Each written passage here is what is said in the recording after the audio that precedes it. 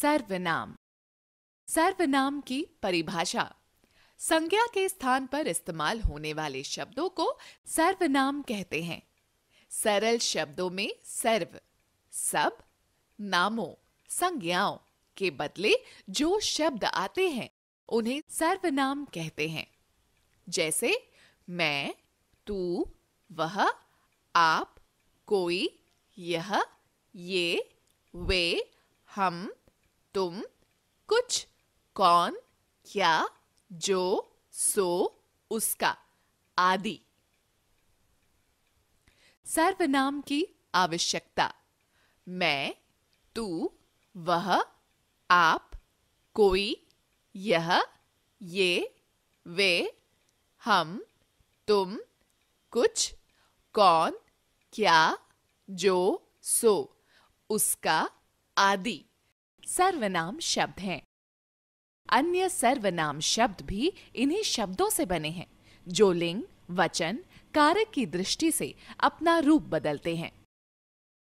संज्ञा के बार बार प्रयोग से वाक्य का सौंदर्य नष्ट हो जाता है।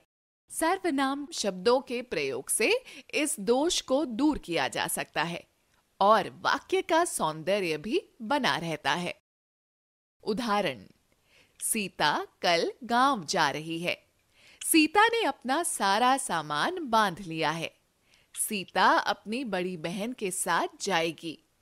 सीता ने गाँव के बारे में बहुत कुछ सुना है। सीता का बहुत मन था गाँव जाने का। उपयुक्त उदाहरण में, सीता नाम का लगातार इस्तेमाल हुआ है, जो कि काफ़ी अटपटा लग रहा है। साथ ही गाँव शब्द भी दोहराया गया है। इन शब्दों के स्थान पर सर्वनाम शब्द का उपयोग कर सकते हैं, जो सुनने और पढ़ने में सही लगेंगे। जैसे, सीता कल गाँव जा रही है। उसने अपना सारा सामान बाँध लिया है। वो अपनी बड़ी बहन के साथ जाएगी। उसने वहाँ के बारे में बहुत कुछ सुना है। उसका बहुत मन था वहाँ जाने का। उसने वो, वहाँ, उसका। ये सभी सर्वनाम शब्द हैं, जो संज्ञा यानी सीता और गाँव के स्थान पर प्रयोग हुए हैं। दूसरा, सर्वनाम शब्दों के इस्तेमाल से हम आदर और अनादर के भाव को व्यक्त करते हैं। जैसे, आप आदर के लिए प्रयोग होता है और तू अनादर के लिए।